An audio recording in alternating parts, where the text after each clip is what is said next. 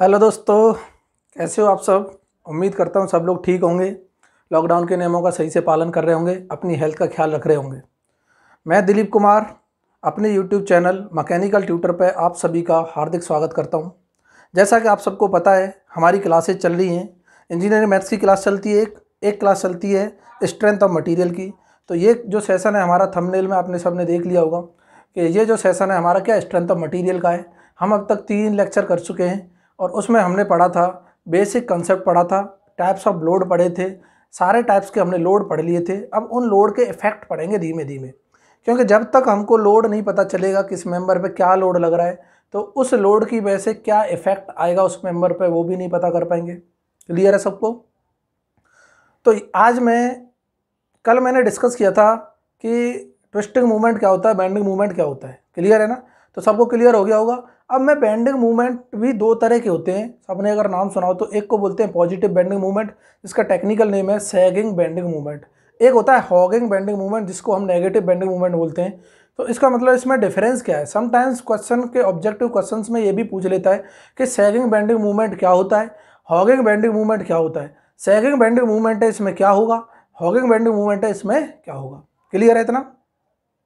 तो ये आज मैं डिस्कस करूँगा बेंडिंग मूवमेंट सैगिंग और हॉगिंग दोनों, और हम डिस्कस करेंगे टाइप्स ऑफ़ सपोर्ट क्या होते हैं। क्लियर है ना? इधर देखना, ज़्यादा समय ना लेते हुए सबसे पहले तो किस किस एग्ज़ाम के लिए ये सेशन इंपॉर्टेंट है, वो देख लेते हैं। उसके बाद हम अपने पॉइंट पे आते हैं। इधर देखना, और सारे लोग कॉपी पेन लेके बैठें ताकि खुद से अपने नोट्स बना सकें। मज़ा नहीं आएगा नहीं तो फिर फिर बोलोगे, सर, हमने वीडियो तो देखे थे, तब तो समझ आया। बाद में पता ही नहीं चला क्या हुआ है। तो साथ ही साथ क्या करो, कॉपी नोट्स लेके बैठो।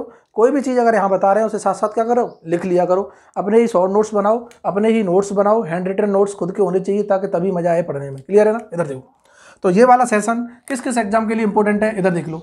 GATE exam, engineering service exam ESC state PSC state PSC मतलब स्टेट असिस्टेंट इंजीनियर के जितने भी एग्ज़ाम होते हैं, जूनियर इंजीनियर के। उसके बाद पीएसयूज, उसके बाद एसएससी जेई एक्सेट्रा मीन्स एक चीज़ तो क्लियर हो गई कि जहाँ पर टेक्निकल आता है टेक्निकल सेक्शन जहाँ पर पूछा जाता है टेक्निकल एग्ज़ाम जहाँ पर पूछे जाते हैं, उन सब के लिए बेनिफिट है ये वाला लेक्चर सारे लोग देख सकते हैं, किसी को कोई दिक्कत नहीं आएगी। यकीन मानो, सारा सेशन एक बार कंप्लीटली देखो स्टार्टिंग से एंड तक। एक सब्जेक्ट को कंप्लीट देख, देखो एक सब्जेक्ट को कंप्लीटली पढ़ने की कोशिश करो, फिर देखो कितना मज़ा आता है। अगर मज़ा ना आए तो फिर बोलना बाद में। क्लियर है ना? और बाकी किसी को कोई भी डाउट हो कमेंट सेक्शन में ज़रूर कमेंट छोड़ें। इधर देखना। यहाँ पे बात करेंगे हम स्ट्रेंथ ऑफ़ मटेरियल की। हमारा जो सब्जेक्ट चल रहा है, कौन सा सब्जेक्ट है? सोम सब्जेक्ट चल रहा है। और सोम की बात करेंगे, हमने बात की थी, उस कल कल ही बात की थी बैंडिंग मूवमेंट की। बैंडिंग मूवमेंट इधर देखते रहना। बैंडिंग मूवमेंट मीन्स हम बात करेंगे प्योर बेंडिंग मूवमेंट क्या होता है? फिर बेंडिंग मूवमेंट कौन कौन से होते हैं? हॉगिंग क्या होता है? सैगिंग क्या होता है? इसके साइन कन्वेंशन क्या होते हैं? और इसमें जो टर्मिनोलॉजी आती है, वो क्या होती है? इधर देखना। मैं प्योर बेंडिंग मूवमेंट की बात करूँगा। Pure bending movement pure bending movement या फिर कई बार ऐसे भी बोल देता है pure bending of beam clear है ना? तो प्योर बेंडिंग की बात करेगा तो प्योर बेंडिंग क्या होता है? When when two equal and opposite equal and opposite bending movement bending movement is acting along the longitudinal axis of the beam, along the longitudinal axis of the member और beam clear है ना? इधर देख रहा इसका मतलब क्या है? अभी मैं यहाँ पे बीम बनाऊँगा, वहाँ से समझना चीज़ों को, उसके बाद हम पता करेंगे ये बेंडिंग मूवमेंट जो है हमारा हॉगिंग है सैगिंग है। कि मैं एक कोई मेंबर लिया, ये कोई मेंबर इधर देखते रहेगा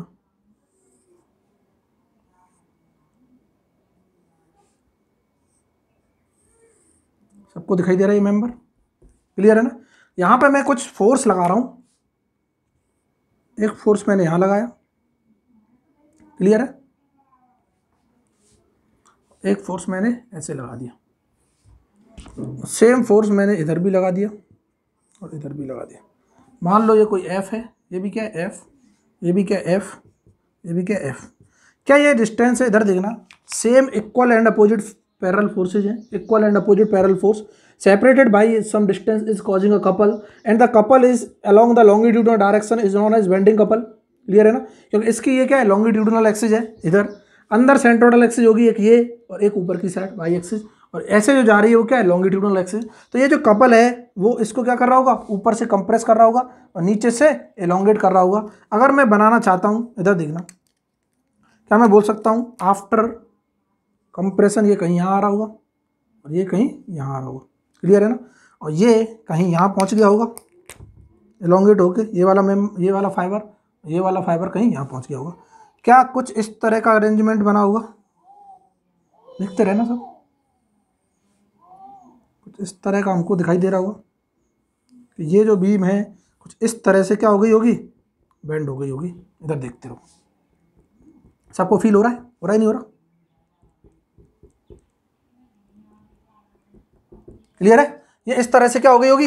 ये बेंड हो गई होगी। मींस इधर भी बेंडिंग मूवमेंट लगाए या बेंडिंग कपल लगाए, इधर भी बेंडिंग कपल लगाए। दोनों equal and opposite bending couple जब लगते हैं अलॉन्ग द लॉन्गिट्यूडनल डायरेक्शन इसी को बोलते हैं प्योर बेंडिंग इसका मतलब ये हुआ, पूरी बीम पे कहीं भी देख लो same amount of bending movement नज़र आ रहा होगा। कोई भी बेंडिंग मूवमेंट का चेंज नहीं नज़र आ रहा है। मीन्स ये जो बीम है, सिर्फ़ एक ही लोडिंग कंडीशन में है। अभी वो क्या है? प्योर बेंडिंग मूवमेंट है और कोई भी लोड यहाँ पे हमको नज़र नहीं आ रहा। क्लियर है ना? इधर देखना।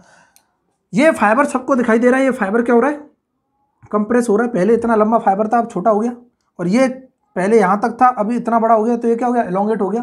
तो इसको बोलते हैं अपर फाइबर अपर ऊपर है।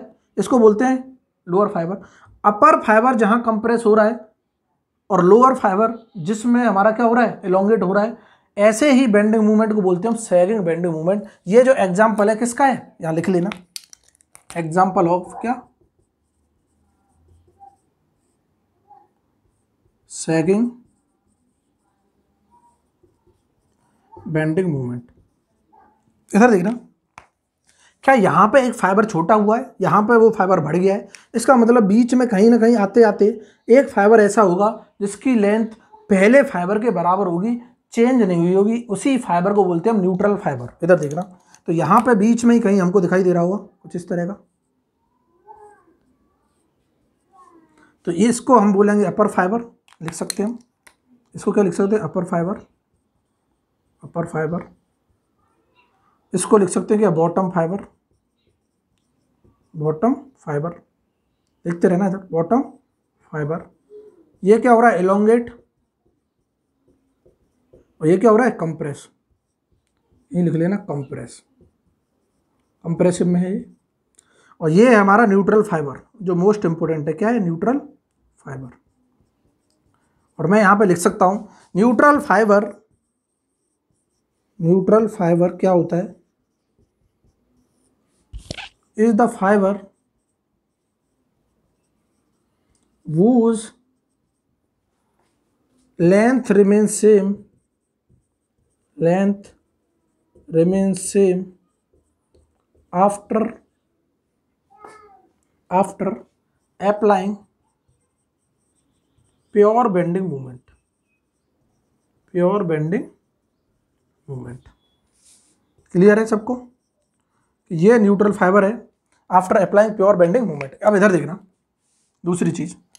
कि इसका कोई एक सेंटर होगा जिसके अबाउट क्या कर रहा होगा? ये रोटेट कर रहे होंगे फाइबर इसको अगर मैं एक्सटेंड करता हूँ, यहाँ पे गया। इसको एक्सटेंड करता हूँ तो ये यहाँ पे जा रहा है। क्लियर है ना? इसका मतलब ये जो कोई सेंटर होगा और न्यूट्रल फाइबर से लेके इसे न्यूट्रल फाइबर से लेके यहाँ तक की जो डिस्टेंस होती है, इसे बोलते हैं रेडियस ऑफ़ कर्वेचर आगे यू जाएगी, इसलिए यहीं पे क्या कर लो डिस्कस कर लो. इसको बोलते हैं आर आर क्या है हमारी? रेडियस ऑफ़ कर्वेचर यहाँ पे लिख लेना. रेडियस ऑफ़ कर्वेचर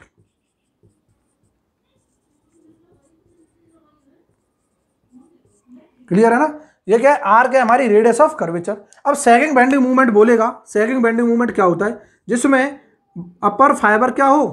कंप्रेसिव में हो. ऐसे पूछता है क्वेश्चन ऑब्जेक्टिव में। अपर फाइबर किसमें हो? कंप्रेसिव और जो बॉटम फाइबर है वो क्या हो? बॉटम फाइबर क्या हो? टेंशन में हो।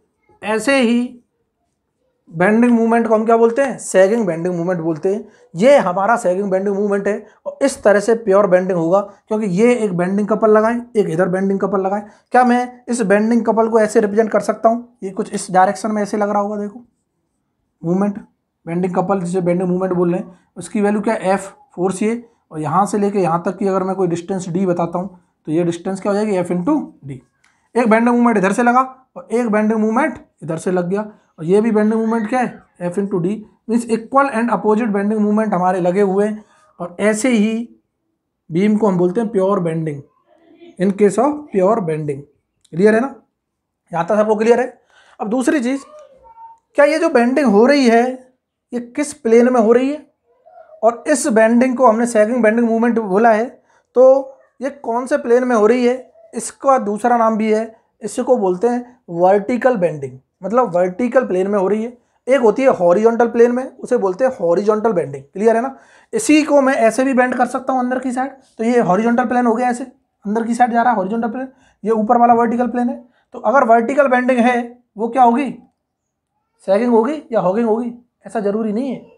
सैगिंग हॉगिंग तो हमारा बताएगा अपर फाइबर और बॉटम फाइबर कंप्रेसिव हो रहे हैं लॉन्गेट हो रहे हैं। बट हाँ अगर ये हमारी क्या है? वर्टिकल बेंडिंग वर्टिकल बेंडिंग है तो इसमें जो न्यूट्रल एक्सिस अभी हम पढ़ेंगे न्यूट्रल एक्सिस और न्यूट्रल सरफेस वो कौन से प्लेन में लाई करेगा, वो बहुत ज़रूरी है जानना, और न्यूट्रल एक्सिस कौन सी वाली एक्सिस होगी, वो भी बहुत ज़रूरी है जानना। क्या इतना क्लियर है सबको? अभी मैं नेक्स्ट वाले जो डायग्राम बनाऊँगा, उसमें अभी हम डिस्कस करेंगे। क्या यहाँ तक सबको क्लियर है कि सैगिंग बेंडिंग मूवमेंट कब बोलेंगे? जब कंप्रेशन होगा। कौन सा fibre upper fibre bottom fibre क्या होगा? टेंशन में होगा, तब सैगिंग बेंडिंग मूवमेंट और रेडियस ऑफ़ कर्वेचर सबको क्लियर है। न्यूट्रल फाइबर वो फाइबर जो लेंथ के अलॉन्ग होगा, हमारी बीम के लेंथ के अलॉन्ग होगा और उसकी लेंथ आफ्टर बेंडिंग भी क्या रहेगी? सेम रहेगी। ऐसे फाइबर को बोलते हैं न्यूट्रल फाइबर क्या इतना क्लियर सबको? अब मैं बना रहा हूँ, इधर देखना। अब मैं वर्टिकल बेंडिंग का एक केस ले रहा हूँ। वहाँ पर हमें समझना है न्यूट्रल सर्फेस क्या होता है और उसके बाद न्यूट्रल एक्सिस क्या होती है। क्लियर है ना? अभी हॉगिंग भी मैं बताऊँगा। हॉगिंग भी बताऊँगा। चलो हॉगिंग डिस्कस कर लेते हैं एक बार। उसके बाद वर्टिकल बेंडिंग की बात करेंगे। सैगिंग बेंडिंग मूवमेंट सबको समझ आ गया। अब हम बात करेंगे हॉगिंग बेंडिंग मूवमेंट की इधर देखो। ये तो सैगिंग था। अब हम बात कर रहे हैं hogging bending movement hogging hogging bending movement just उल्टा है कि जिस, इसमें जो अपर फाइबर होगा हमारा अपर फाइबर वो क्या होगा? एलोंगेट होगा। एलोंगेट होगा। मीन्स इसके अंदर क्या होगी? टेंशन होगी। एलोंगेट मतलब खिंचेगा तो टेंशन आएगी। और जो बॉटम फाइबर होगा, ऐसे ही पूछता है ऑब्जेक्टिव में बॉटम फाइबर जो होगा, वो क्या होगा? कंप्रेस होगा। शॉर्ट हो जाएगा मतलब कंप्रेस होगा। और इसके अंदर क्या आएगी? कंप्रेसिव स्ट्रेस आएगी। ऐसे पूछ लेता है। तो डाउट में नहीं रहना है कि अगर बोलता है हॉगिंग बेंडिंग मूवमेंट में अपर फाइबर में कौन सी स्ट्रेस आती है? टेंसाइल स्ट्रेस आती है कंप्रेसिव आती है सीयर आती है, या नन ऑफ़ दीज तो कौन सी आएगी? टेंसाइल क्लियर है ना? इधर देखो, होता कैसा है? यहाँ समझना। यहाँ समझना। कहता क्लियर है? इसको थोड़ा मिटा दूँ? इसको मिटा दूँ? डायग्राम बना रहे हैं। इधर देखो। डायग्राम क्या है? डायग्राम है कुछ इस तरह का। ये हमारा बीम था। बीम था और ये क्या था? मेंबर था। क्लियर है ना? इस मेंबर को अगर मुझे ऊपर से क्या करना है? एलोंगेट करना है तो जो बेंडिंग मूवमेंट अब लगेगा, वो क्या इस तरह से नहीं लगेगा? देखो, ये बेंडिंग मूवमेंट और वही बेंडिंग मूवमेंट लग रहा होगा बट डायरेक्शन क्या हो जाएगी? चेंज हो जाएगी। मैं बोल सकता हूँ एफ़ इन टू डी यहाँ पर भी कोई फोर्स लग रहा होगा, इस तरह से। इसको यहाँ पे क्या कर रहा है? कंप्रेस कर रहा है। ये फोर्स और यहाँ से क्या कर रहा है? इलोंगेट कर रहा है। ये हमारा क्या है? कोई फोर्स है। क्लियर है ना? और इन दोनों के बीच में डिस्टेंस क्या है? डी डिस्टेंस है। तो हमारा एक बेंडिंग कपल लग गया। इधर भी एक बेंडिंग कपल लगा होगा लो, लगा दो। इसको भी हम बोल सकते हैं M equal to F into D का बेंडिंग कपल। क्लियर है ना? और यहाँ पे भी इसको क्या कर रहा होगा ये? इलोंगेट कर रहा होगा इसको। फोर्स लगा के। इसको भी क्या कर रहा होगा? कंप्रेस कर रहा होगा। और यहाँ से यहाँ तक की जो डिस्टेंस होगी वो क्या होगी? डी होगी। क्या इतना क्लियर सबको? इसका मतलब इसको अलोंगेट किया तो ये जो है फाइबर यहाँ पे आ गया होगा। ये फाइबर भी कहीं यहाँ पे पहुँच गया होगा। ये फाइबर शॉर्ट हो गया होगा, कहीं यहाँ पे आ गया होगा। क्या इस तरह से कुछ अरेंजमेंट दिख रहा होगा? देखो। जस्ट उल्टा दिखाई देगा। जो वहाँ दिख रहा था, अब ये इसका उल्टा यहाँ दिखेगा। क्या इतना क्लियर सबको? और बीच में एक फाइबर होगा। अब तो सब जानते हैं ये फाइबर कौन सा होगा।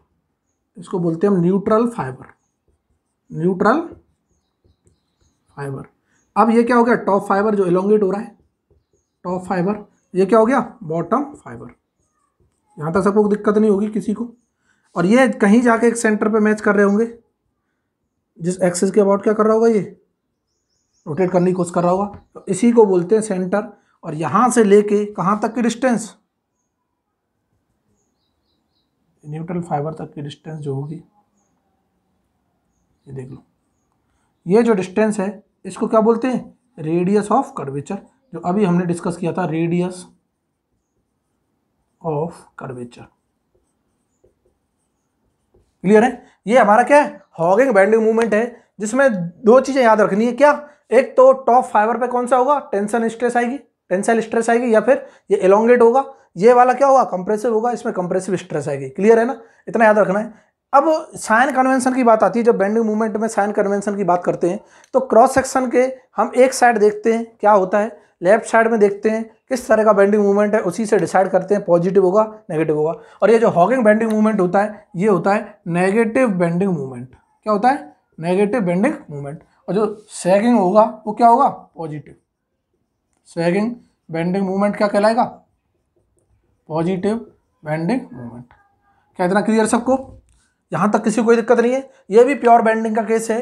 अब हमने दो तरह के मूवमेंट पढ़ लिए। Sagging bending movement hogging bending movement अब मैं बात करूँगा वर्टिकल बेंडिंग की और हॉरिजॉन्टल बेंडिंग की, क्योंकि उसमें हमें पता होना चाहिए न्यूट्रल एक्सिस कब आएगी? और जो न्यूट्रल एक्सिस होगी, उसी के अबाउट जब हम बेंडिंग स्ट्रेसेज पढ़ेंगे तो सारा खेल न्यूट्रल एक्सिस का है। हमको न्यूट्रल एक्सिस पता होनी चाहिए, और न्यूट्रल एक्सिस अगर नहीं पता चली तो हम बेंडिंग स्ट्रेसेज निकालना बहुत मुश्किल हो जाएगा, क्योंकि हमको समझ ही नहीं आएगा कहाँ से डिस्टेंस मेजर करनी है। क्योंकि हम न्यूट्रल एक्सिस से ही हमेशा क्या करते हैं? डिस्टेंस मेजर करते हैं। जो हम मूवमेंट ऑफ़ इनर्शिया भी निकालेंगे, वो न्यूट्रल एक्सिस के अबाउट निकालेंगे हमेशा। क्लियर है ना? तो वो बहुत ज़रूरी है जानना। इधर देखो। अब मैं बात कर रहा हूँ वर्टिकल बेंडिंग की बात कर रहा हूँ। एक ही बेंडिंग समझ लो वर्टिकल उसी का जस्ट उल्टा क्या हो जाएगा? हॉरिजॉन्टल हो जाएगा। इधर देखो। अगर मैं बात करता हूँ वर्टिकल बेंडिंग की, इधर समझना। बहुत इंपॉर्टेंट है ये टॉपिक बेंडिंग मूवमेंट में मैं बात कर रहा हूँ वर्टिकल बेंडिंग कि। अगर वर्टिकल बेंडिंग हो रही है, क्या हो रही है? वर्टिकल बेंडिंग तो किस तरह हो रही है, वो देखना है। वर्टिकल बेंडिंग इधर देखना। क्या मैं एक मेंबर बना लूँ? ढंग से समझना इधर।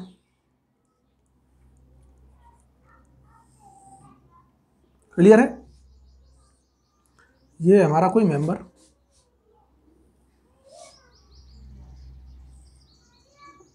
क्लियर है?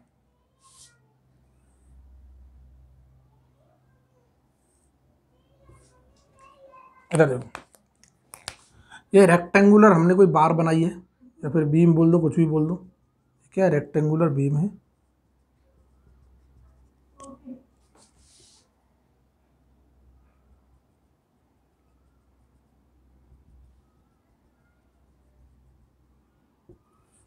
ठीक है? सबको दिखाई दे रही है? ये रेक्टेंगुलर बीम हम जानते हैं, ये हमारा प्लेन ऑफ़ क्रॉस सेक्शन है। ये क्या है? प्लेन ऑफ़ क्रॉस सेक्शन इधर भी दिखाई दे रहा है प्लेन ऑफ़ क्रॉस सेक्शन इसके बीच में एक सेंट्रॉइड होता है, सबको पता है? प्लेन ऑफ़ क्रॉस सेक्शन का सेंट्रॉइड और यहाँ से दो एक्सिस पास होती हैं। जिसे हम बोलते हैं, एक तो क्या है? सेंट्रोडल ओरिजेंटल एक्सिस और ये क्या है? एक सेंट्रोडल वर्टिकल एक्सिस सबको पता होगा ये तो। हमने पहले भी डिस्कस किया था एक बार। क्लियर है ना? इसको मैं बोल दूँगा, ये एक्स एक्सिस और ये क्या है? वाई एक्सिस क्लियर है ना? और ये सेंट्रोडल है, इसको हम बोल देते हैं एक्स एक्सिस क्या है? सेंट्रोडल इधर देख लेना सेंट्रोडल पहले भी डिस्कस कर रखे हैं, फिर भी लिख लो। हॉरिजॉन्टल एक्सिस चीज़ें बहुत आसान हो जाएँगी, इधर देखते रहो। वाई वाई क्या है? Centroidal vertical axis vertical axis clear है? अब मैं बात कर रहा हूँ, अब मैं वर्टिकल बेंडिंग कराऊँगा वर्टिकल बेंडिंग का मतलब वर्टिकल प्लेन में होगी। तो वर्टिकल प्लेन क्या है? ऊपर वाला है, जैसे ऊपर जाएगा, ऐसे बेंडिंग हो रही होगी। मैं यहाँ पे ले रहा हूँ केस वर्टिकल बेंडिंग में। किसका केस ले लूँ? सेकंड का ले लेते हैं पॉजिटिव बेंडिंग मूवमेंट का। कि हम बात कर रहे हैं किसकी? सेकंड बेंडिंग मूवमेंट की। और ये वर्टिकल बेंडिंग मूवमेंट हो रहा है। वर्टिकल बेंडिंग में सेकंड बेंडिंग मूवमेंट लिया है। इसका मतलब इधर से लग रहा होगा लोड दो। ऐसे लग रहा होगा, इस तरह से बेंडिंग मूवमेंट होगा। होगा नहीं होगा। ऐसे मूवमेंट लगा हुआ। इधर से भी एम इधर से भी एम क्या इतना क्लियर है सबको? और इसका मतलब ये हुआ कि इसके बीच में एक न्यूट्रल फाइबर होगा। क्या होगा? एक न्यूट्रल फाइबर होगा। और उसकी हमारी डायमेंशन चेंज नहीं हो रही होगी। वो neutral fibre same as it is होगा, जैसे ऐसा है। ऊपर वाला जो है, इसी तरह का होगा। उसमें कोई भी चेंज नहीं आएगा। ये तो कंप्रेस हो गया होगा, कुछ इस तरह हो रहा होगा। एक सीट जो है, मान के चलो ये सीट है ऊपर वाली। ये कुछ इस तरह से अपनी सेप बना रही होगी। ये सीट जो है ऊपर ऐसे हो गई होगी बट बीच वाली क्या होगी? सेम होगी। उसमें कोई चेंज नहीं हुआ होगा। इसीलिए उसको बोलते हैं न्यूट्रल फाइबर उस न्यूट्रल फाइबर से एक सरफेस बनेगा, उसे बोलेंगे न्यूट्रल सरफेस और neutral surface plane of cross section पे जहाँ पे कट करेगा, उसी लाइन ऑफ़ एक्शन को हम बोलेंगे न्यूट्रल एक्सिस इधर देखना। और वो क्या होगा? इधर देखो। कि मैंने मान लिया। क्या मान लिया? क्या मानना है? कुछ तो मानो। लो। बिना माने तो काम नहीं चलेगा। कि हमारा यहाँ से लेके यहाँ तक कोई एक क्या है? न्यूट्रल आए बने देखते रहो।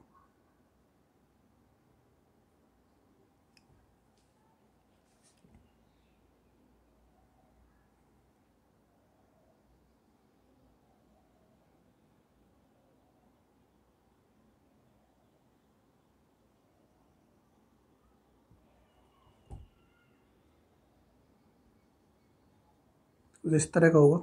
समझने की कोशिश करना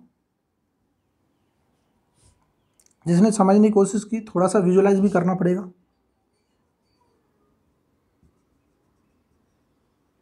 क्लियर है इधर देखना। देखते रहना इधर। थोड़ी देर के लिए इसको मिटा रहे टेंशन नहीं लेनी। अब ये एक सरफेस दिखाई दे रहा होगा सबको, जो मैंने क्या कर रखा है? हैच कर रखा है। ये वो सरफेस है जहाँ पे फाइबर की लेंथ बिल्कुल चेंज ही नहीं होगी। क्या सबको दिखाई दे रहा है? और इसी सरफेस को बोलते हैं क्या न्यूट्रल सरफेस न्यूट्रल सरफेस और ये कहाँ लाई करेगा? देखो lies in horizontal plane plane in case of in case of vertical bending ध्यान से सुनना, ये क्वेश्चन में आते हैं। मतलब अगर मैं वर्टिकल बेंडिंग की बात कर रहा हूँ तो वर्टिकल बेंडिंग में जो न्यूट्रल सरफेस होगा, क्या वो हॉरिजॉन्टल प्लेन में लाई नहीं कर रहा? देखो, मज़ा आ रहा है। ठीक है, बिल्कुल सही है, मज़ा आ गया। अगर मैं बोल देता कि अगर ये हॉरिजॉन्टल बेंडिंग है, क्या है? इफ़ क्या इफ़ इफ़ हॉरिजॉन्टल बेंडिंग लो। इफ़ हॉरिजॉन्टल बेंडिंग तो जो न्यूट्रल सरफेस होगा, वो कहाँ लाई करता? वर्टिकल प्लेन में, उल्टा हो जाता। न्यूट्रल सरफेस लाइज कहाँ in vertical plane.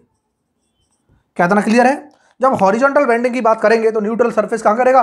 Vertical plane में लाई करेगा। इसका मतलब अगर मैं इसको ऐसे हॉरिजॉन्टली बेंड कर रहा हूँ, लो, अंदर बोर्ड की तरफ़, क्या वो जो एक सरफेस दिखाई देगा हमको, वो सरफेस क्या दिखाई देगा? इस वर्टिकल प्लेन में आ रहा होगा, वही न्यूट्रल सरफेस होगा। क्या इतना क्लियर है सबको? वेरी गुड इधर आओ। अब मैं बोल रहा हूँ कि न्यूट्रल एक्सिस क्या होती है?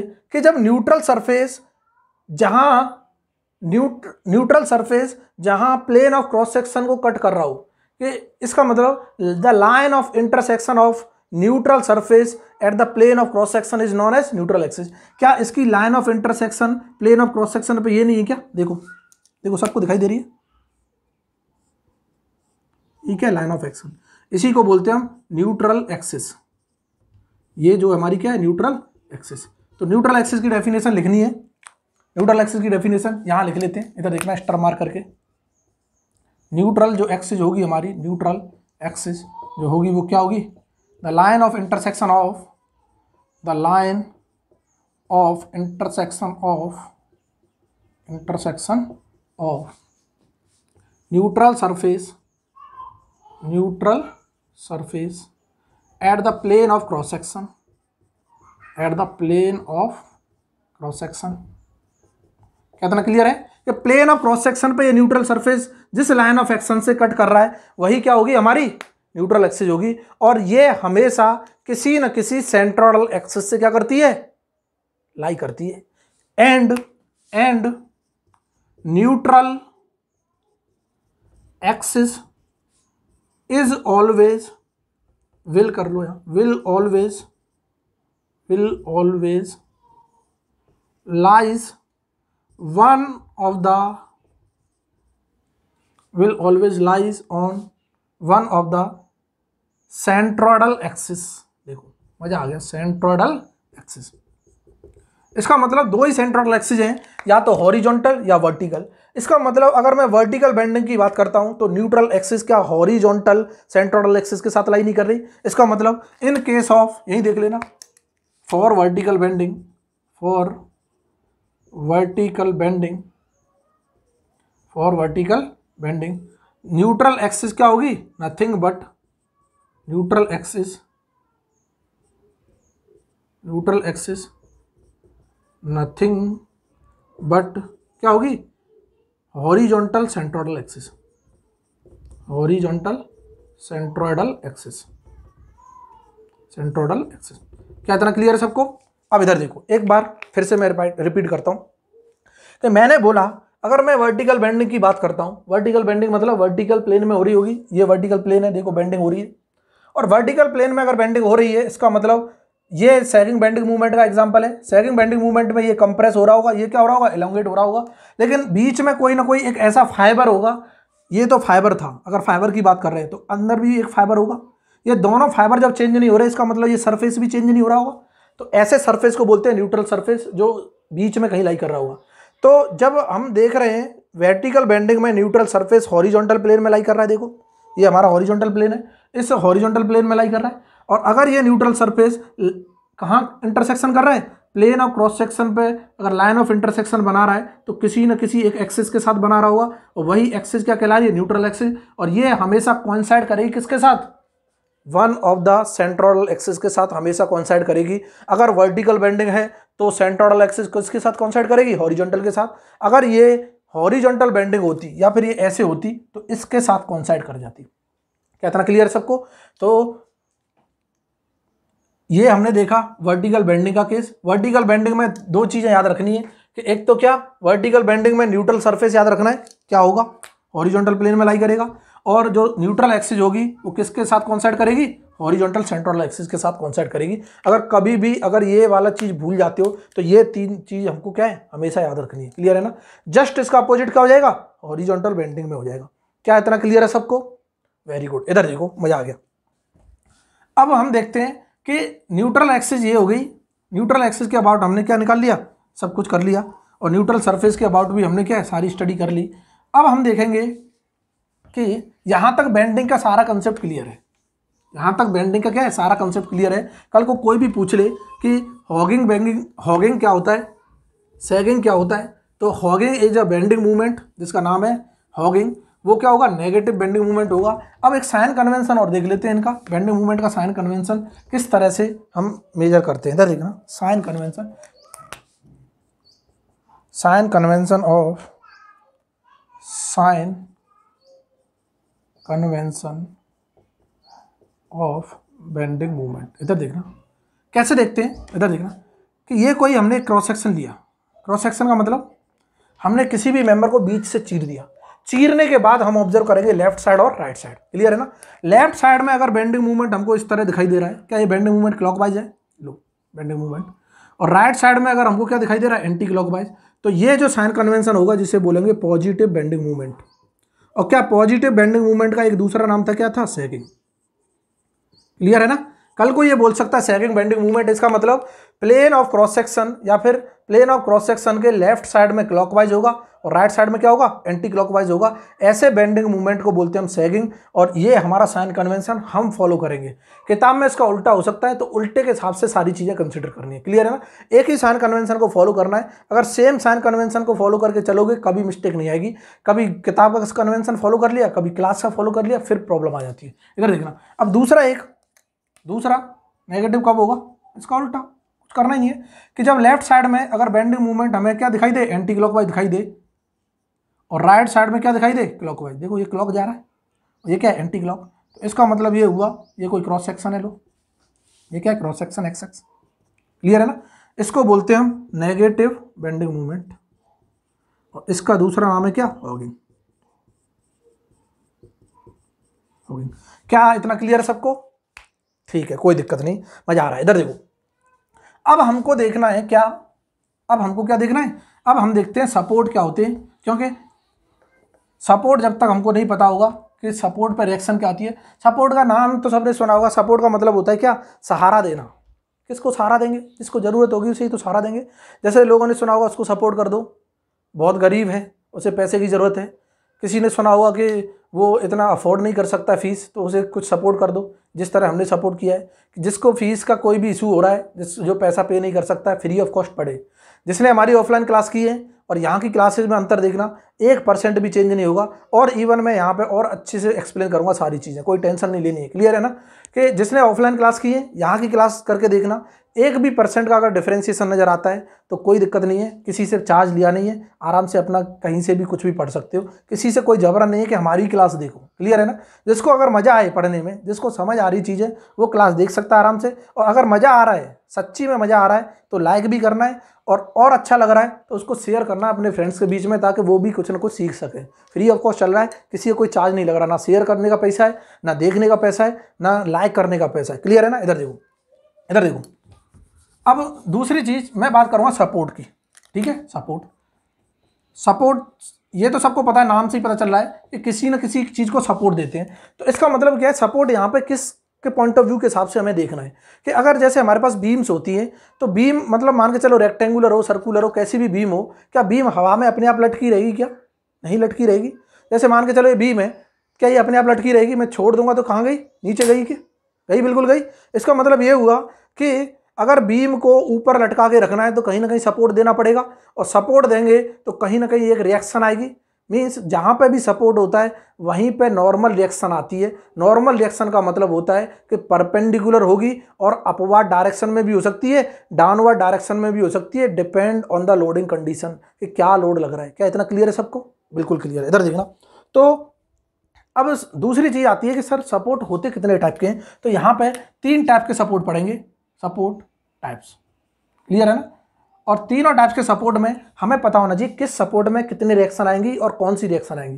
पहला सपोर्ट जिसको हम बोलते हैं सिंपल सपोर्ट बोल दो या फिर क्या बोल दो? रोलर सपोर्ट रोलर सपोर्ट इसके रिप्रेजेंटेशन भी दिखाऊँगा मैं साथ साथ और वो भी बताऊँगा कि इसमें कितनी रिएक्शन होंगी। इधर देखो। रोलर सपोर्ट को ये मान के चलो कोई बीम है हमारी। ये क्या है? बीम ये बीम हवा में तो लटकी नहीं रहेगी। अगर हमने यहाँ पे बीम रखी है, इसका मतलब इसे कहीं ना कहीं सपोर्ट दे रहे होंगे। हमने एक साइड सपोर्ट माना है, वो क्या है? रोलर सपोर्ट है। मीन्स रोलर हमने इस तरह का बना दिया। यहाँ पर रोलर लगे हुए और इसको हमने बीम को सपोर्ट कर दिया। क्या इतना क्लियर है? अभी समझना। अभी मैं बताऊँगा नंबर ऑफ़ रिएक्शन कैसे आ रही है। दूसरी दूसरी, दूसरा सपोर्ट दूसरा सपोर्ट बोलते हैं हम हिंज सपोर्ट हिंज्ड सपोर्ट और इसी का दूसरा नाम है पिन सपोर्ट मीन्स पिन लगा दी। अभी देखो, ये क्या है? हिंज सपोर्ट और पिन सपोर्ट क्लियर है ना? कैसा होता है कि इधर देखो, ये कोई भीम है। ठीक है? भीम है कोई। भीम है भीम नहीं। इधर देखो। और ये क्या है? हमने यहाँ पे एक पिन लगा रखी है सबको दिखाई दे रही है। और नीचे क्या है? ग्राउंड पे रखा है। इधर क्लियर है? ये पिन लगी हुई है। उसके बाद तीसरा सपोर्ट और देख लेते हैं। उसके बाद मैं नंबर ऑफ़ रिएक्शंस की बात करूँगा। इधर देखो, तीसरा सपोर्ट थर्ड सपोर्ट जो होगा, वो क्या होगा? उसे बोलते हैं फिक्स्ड सपोर्ट कौन सा सपोर्ट फिक्स्ड सपोर्ट और फिक्स सपोर्ट कुछ इस तरह का दिखाई देता है। फिक्स का मतलब है, हिलना भी नहीं चाहिए कहीं से भी। बिल्कुल क्या कर दो वेल्डिंग कर दो एक तरह से। वेल्डिंग कर दो, तोड़ सकते हैं बस, ना हिला सकते हैं, ना डुला सकते हैं। इधर देखो, इसका मतलब इस तरह का कुछ हमने रिप्रेजेंटेशन कर दिया। ये कोई बीम थी, ये लो बीम ले ली। और इस बीम को हमने क्या कर दिया? यहाँ से वेल्डिंग कर दिया। और इसको बोलते हैं फिक्स सपोर्ट क्या इतना क्लियर सबको? अब इधर देखो। अब हमको पता होनी चाहिए यहाँ पे कितनी रिएक्शन आएँगी। यहाँ पे कितनी रिएक्शन आ सकती है? मैक्सिमम रिएक्शन यहाँ पे मैक्सिमम नंबर ऑफ़ रिएक्शन और यहाँ पे भी मैक्सिमम नंबर ऑफ़ रिएक्शन कल को ये भी बोलेगा मैक्सिमम नंबर ऑफ़ अननॉन्स बताओ।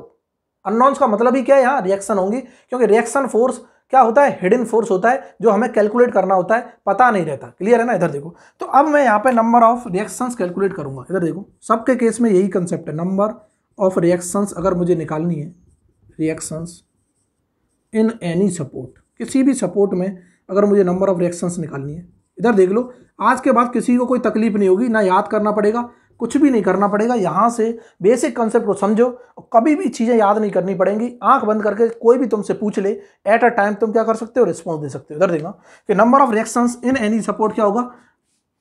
नंबर ऑफ़ रिस्ट्रिक्टेड मोशन इधर देखना, ये बहुत इंपॉर्टेंट पॉइंट है रिस्ट्रिक्टेड मोशंस इधर देखो, मज़ा आ गया। बस ये एक ब्रैकेट हमको पता होना चाहिए। इसकी हेल्प से हम सारी चीज़ें कैलकुलेट करेंगे स्टार मार्क कर लेना जितना कर सकते हो। क्लियर है ना? अब यहाँ पे क्या है? मतलब नंबर ऑफ़ रिएक्शंस अगर हमें पता करनी है तो नंबर ऑफ़ रिस्ट्रिक्टेड मोशन पता करने पड़ेंगे। सबसे पहले तो हमें ये पता भी होना चाहिए कि मोशन कितने पॉसिबल हो सकते हैं। तभी तो हमें पता चलेगा कितने रुके हुए हैं। रिस्ट्रिक्टेड का मतलब कितने मोशन को रोक रखा है। तो सबसे पहले तो हमें ये पता होना चाहिए कि कितने मोशन मैक्सिमम पॉसिबल हो सकते हैं। तो यहाँ पर जितनी भी स्टडी चल रही है टू प्लेन फिगर की बात चल रही है, याद रखना। टू प्लेन फिगर में तीन ही मोशन पॉसिबल हैं और तीन मोशन क्या है? इधर देखो। फ़र्स्ट मोशन एक्स डायरेक्शन में लीनियर मोशन हो सकता है। समझ आ रहा नहीं आ रहा? कि एक्स डायरेक्शन में मूवमेंट हो सकता है लोग, ऐसे। वाई डायरेक्शन में मूवमेंट हो सकता है ऐसे। और इस प्लेन में ये ऑब्जेक्ट क्या है? घूम भी सकता है। क्लियर है ना? क्योंकि एक प्लेन की बात हो रही है ना टू प्लेन टू प्लेन में टू डायमेंशन आएँगी। अगर मैंने ए डायमेंशन ले रखी है ए डायमेंशन तो इसका मतलब इसी में घूम सकता है। अगर मैंने इधर घुमा दिया तो वो जेड में घुस गया। जेड तो यहाँ नेगलेक्टेड है क्लियर है ना? इसीलिए two linear motion one rotation motion तीन मोशन पॉसिबल है मैक्सिमम और तीनों मोशन को यहाँ ऑब्ज़र्व करना है। तीनों मोशन की हेल्प से बताएँगे कि इसमें कितनी रिएक्शन आएँगी। क्लियर है ना? इधर देखो। ये हमारी क्या बीम सिंपली सपोर्टेड बीम इसका मतलब ये हुआ मतलब सिंपली सपोर्टेड नहीं है, ये क्या रोलर सपोर्ट है? इधर देखना, गलती से बोल दिया। ये रोलर सपोर्ट है मीन्स इस बीम को मैं आगे पीछे ले जा सकता हूँ। बिल्कुल ले जा सकता हूँ लोग।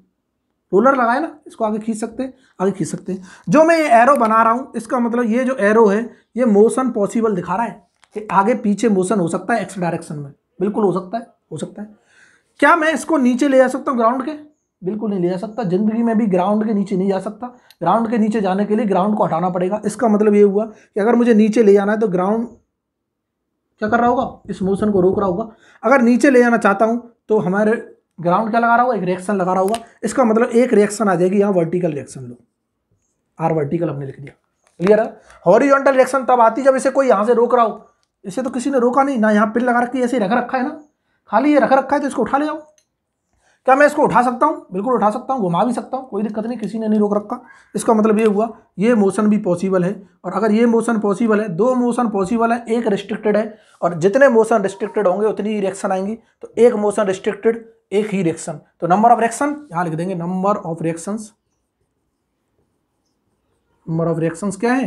वन है। अगर कोई पूछ लेता है तो दैट इज़ क्या है? वर्टिकल रिएक्शन मोस्ट इंपॉर्टेंट है, इधर देखना। वर्टिकल रिएक्शन आरबी क्लियर है ना? इधर देखो। रोलर सपोर्ट में हमें पता चल गया। अब देखते हैं हिंज सपोर्ट हिंज का मतलब पिन लगी है। अगर मुझे इसे आगे खींचना है पिन को तोड़ना पड़ेगा। और पिन इसको रोकने की कोशिश कर रही होगी, इसका मतलब आगे भी नहीं जा सकता ये। आगे नहीं जा सकता, इसका मतलब कोई ना कोई एक रिएक्शन आ रही होगी वर्टिकल डायरेक्शन में। आर वर्टिकल वर्टिकल नहीं हॉरिजॉन्टल हॉरिजॉन्टल खींच रहे हैं ना? तो एक रिएक्शन आ गई। क्या ग्राउंड के नीचे ले जा सकते हैं? नहीं ले जा सकते। एक और मोशन रोक दिया। इसका मतलब आर वर्टिकल आ गया। क्या इस पिन के अवार्ड घुमा सकते हैं? बिल्कुल घुमा सकते हैं लोग, घूम गया। ये मोशन हमने रोका नहीं है, इसका मतलब दो रिएक्शन आ गई। तो यहाँ पर सीधा सीधा लिख दो number of reaction hinge support में कितनी है? Two that is R horizontal and R vertical vertical and horizontal reaction क्या इतना क्लियर है सबको? इधर देखो। अब फिक्स पे आते हैं। फिक्स का मतलब है, क्या मैं इसको आगे खींच सकता हूँ? वेल्ड कर रखा है। वेल्डिंग अगर कर रखा है तो इसका मतलब ये है अगर ये आगे खींचा तो टूट सकता है, आगे जा नहीं सकता। इसका मतलब इसको रोक रही होगी ये वेल्डिंग आगे रोक रही होगी, इसका मतलब हॉरिजॉन्टल डायरेक्शन में रोक रही है तो एक रिएक्शन आएगी हॉरिजॉन्टल रिएक्शन डायरेक्शन से अभी कंफ्यूज नहीं होना है कि, सर, इधर ही क्यों लिया? कहीं भी ले सकते हैं, वो कैलकुलेशन बताएगी, हमारी डायरेक्शन कहाँ आती है? मैं कैलकुलेशन करना जब सिखाऊँगा, तब सबको क्लियर हो जाएगा, अभी टेंशन नहीं लेनी अभी बस नंबर ऑफ़ रिएक्शन में फोकस करना, कितनी आएँगी? हाँ आर ओरिजेंटल आया, क्या नीचे आ सकता है? नहीं आ सकता, टूट जाएगा तो एक वर्टिकल रिएक्शन आ जाएगी आर वर्टिकल क्या मैं इसे घुमा सकता हूँ? बिल्कुल नहीं घूम सकता। अगर घूम नहीं सकता तो एक मूवमेंट भी आ रहा होगा, जो इसको मूवमेंट रिएक्शन क्रिएट कर रहा होगा। अब पहली चीज़ ये, कि अगर मैं घुमा रहा हूँ तो ये मूवमेंट रिएक्शन क्यों बोल दिया, सर? क्या हो रहा है? समझ ही नहीं आ रहा। इधर देखो, कि अगर मैं इसको घुमा रहा हूँ तो ये मूवमेंट रिएक्शन क्यों बोला? कुछ और क्यों नहीं बोला? हमने पहली क्लास में बताया था कि movement is the cause of rotation motion अगर घूमेगा तो उसे रोकने के लिए एक रोटेशन मोशन ही रोक रहा होगा ना? क्लियर है ना? और अगर ये लीनियरली आगे मूव कर रहा है तो लीनियर फोर्स आ रहा होगा लीनियर रिएक्शन आ रही होगी। इसका मतलब रोटेशन वाले मोशन को जो रोकेगा, उसकी वजह से मूवमेंट रिएक्शन आएगी और ट्रांसलेशन मोशन को जो रोकेगा, उसकी वजह से क्या आएगी? लीनियर रिएक्शन आएगी, जिसे हम नॉर्मल रिएक्शन भी बोल देते हैं समटाइम्स क्लियर है ना? तो नंबर ऑफ़ रिएक्शन कितनी आ गई यहाँ? लो नंबर नंबर ऑफ़ क्या? रिएक्शन कितनी है? थ्री दैट इज़ क्या है?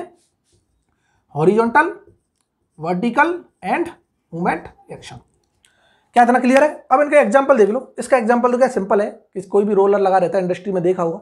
कोई मैकेनिकल इंडस्ट्री में गया हो तो मैकेनिकल इंडस्ट्रीज़ में रोलर के ऊपर ऐसे चलती रहती चीज़ें, उठा ले गए। मन किया जब उठा ले गए, मन किया जब कुछ भी कर दिया, एक रोलर लगा रहता है नीचे। क्लियर है ना? ये वाला एग्ज़ाम्पल सबके घरों में होता है। डोर होता है डोर डोर को ना आगे खींच सकते ऐसे। उस पिन से जो हिंज रहता है ना, उसे खींच के देखना ऐसे। खींच पाओ क्या? उठा के देखना। उठा पाओ क्या? घुमा देते हो, तुरंत लो घूम रहा है। घूम जाता है तभी तो खुलता है। वही डोर क्लोजर एग्ज़ाम्पल इसका डोर क्लोजर लिखना चाहते हो तो लिख लो, कोई पूछे तो। डोर क्लोजर क्लियर है? इधर देखो, इसका एग्ज़ाम्पल बहुत ही मस्त एग्ज़ाम्पल है। बालकनी में जाते हो, कुछ देखने, क्या देखने जाते हो? जो भी देखने जाते हो, कोई दिक्कत नहीं। इधर देखो हाँ।